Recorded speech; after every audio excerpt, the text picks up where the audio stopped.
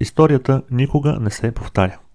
Първо, ние никога не сме имали такова нещо в миналото, като глобализиран свят. Следователно, конфликтите, които в момента се разграничават и се разгръщат, имат глобално измерение. Те могат да се развиват в конкретни точки, физически и географски – Украина, Близкия изток. Но те имат измерения, които са глобални, планетарни. Второ, става въпрос за бъдещето на човечеството и на човешката цивилизация и за това в каква форма тя ще продължи. Залогът е огромен.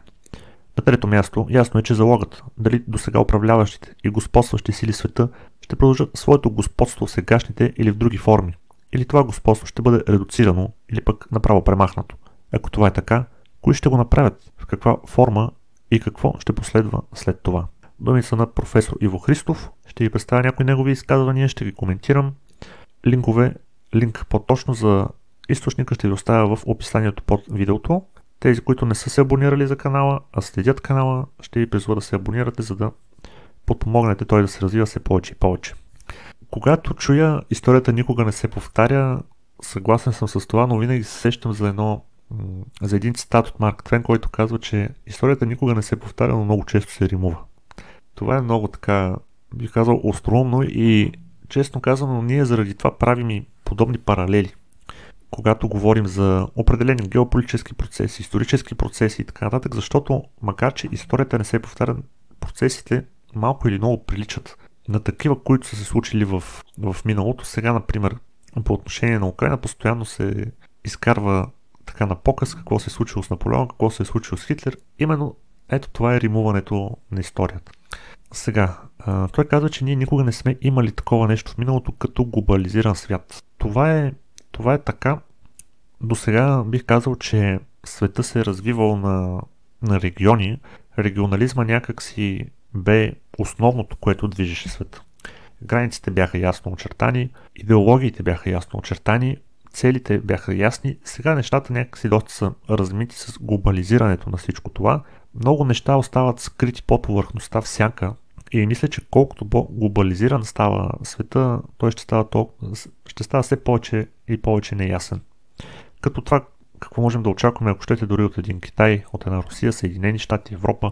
Макар, че сега ние, когато сме в Европейска съюз и НАТО, някак си нещата изглеждат праволинейни, аз не съм сигурен, ако войната в Украина придоби един малко по-различен характер, а именно засегне пряко Европейския съюз и НАТО, тогава дали нещата няма пък да започнат да се променят. И да видим, че всъщност тази лоялност, която се показва от някои членове на ЕСИ НАТО, всъщност е само привидна и се държава до, до момента на истинския конфликт, който да засегне ЕСИ НАТО.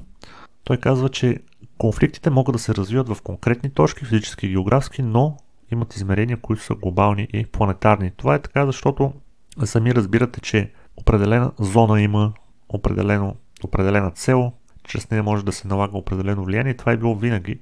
Но, но сега някакси самите точки са много по-навързани помежду си. Това е нещо, което, да кажем, е по-скоро ново в, в световната история, а именно, че има директни връзки между това, което се случва в Израел, Близкия изток, това, което се случва в Украина, с процесите в Африка, ако щете дори и Южна Америка.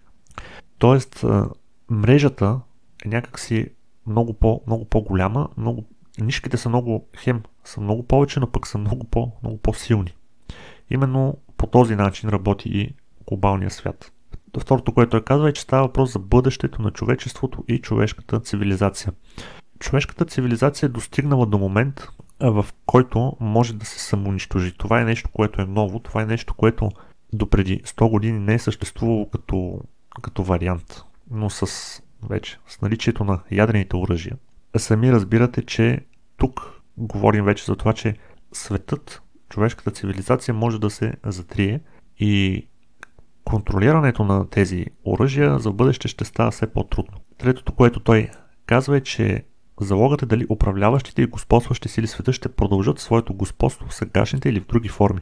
Това е така нареченото преливане от едната епоха в другата, чисто геополитически става въпрос. И самия професор Иво Христов много често е казал, че именно това е най-опасният период, когато умира едната система и се изгражда другата и се намираме по средата. Най- най-опасен е този период, тъй като именно тогава се води и битката. Другото, което е, което аз мога да добавя е, че нещата от резултатите от студената война някак си останаха като недовършени и това също е една предпоставка да, да станем свидетели на, голям конфликт, да се разпределят силите отново, защото студената война остана именно такава, студена. Тя не прерасна в, в голям кървав спор, който да определи бъдещето по някакъв по, по-тежък начин, така да се каже. Езикът е само външна демонстрация на промяната на отношението, промяната на организацията и промяната на начина по който въобще Русия от тук нататък ще процедира в ситуацията, в която се намира. Мисля, че ни чекат много тежки времена. Военният конфликт ще се разрасне и ще бъде жесток. Но сега той беше действително удържан в рамките на конфликт с ниска и средна интензивност. Това, което започна да ми прави впечатление по отношение на Украина беше, че имаше два момента. Единият Русия да приключи това, всичко това много бързо, както се говореше за 3 дена или седмица. И другият, този конфликт да продължи наистина страшно дълго, с идеята Украина да бъде ползвана като един жив щит. Докато върви това, което се случва в Украина, по този начин сами разбирате, че руската армия ще е в една непрестанна готовност да посрещне каквото и да било. Именно заради това, именно тази ниска и средна интензивност, виждаме и в момента.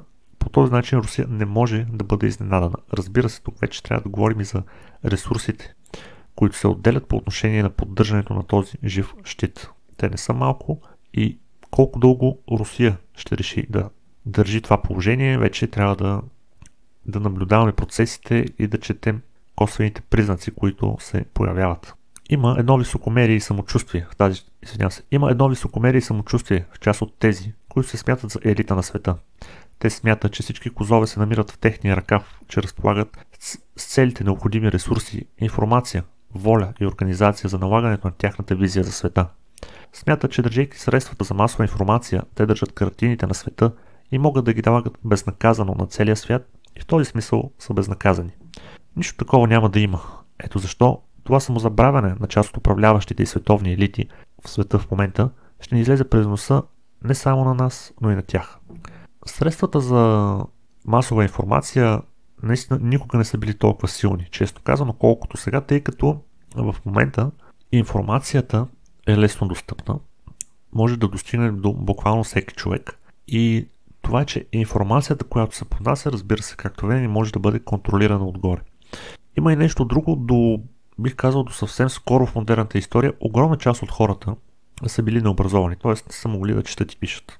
Сега имаме точно обратното. Огромна част от тези хора са образовани да четат и пишат и именно по този начин те могат, колкото и странно да звучи, да бъдат, ако щете, и манипулирани по определен начин. Не казвам по-лесно, но могат да бъдат насочвани в определени посоки, да бъдат изкарани дори ако щете от а, житейското битие, защото когато говорим за един селски човек, който не може да чете и да пише, сами разбирате на къде гледа той. Той гледа към семейството, към земята и често казвам какво смята да направи царя с съседна държава, това някакси остава много на заден план. Сега, когато сме обливани с информация, която да ни държи с всички тези процеси, които се случват и се опитват да ни направят част от тях, сами разбирате, че ситуацията е коренно различна.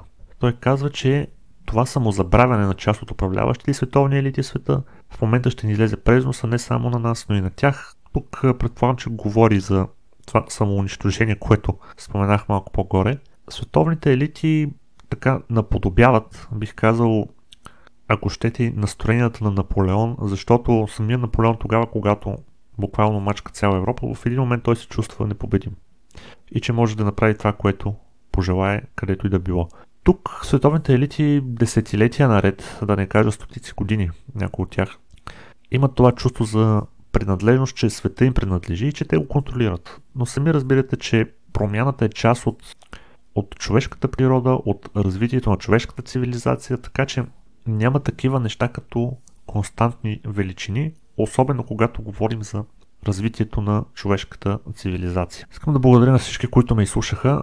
Тези, които желаят да видят текста в оригинал, могат да го направят чрез линка в описанието под видеото.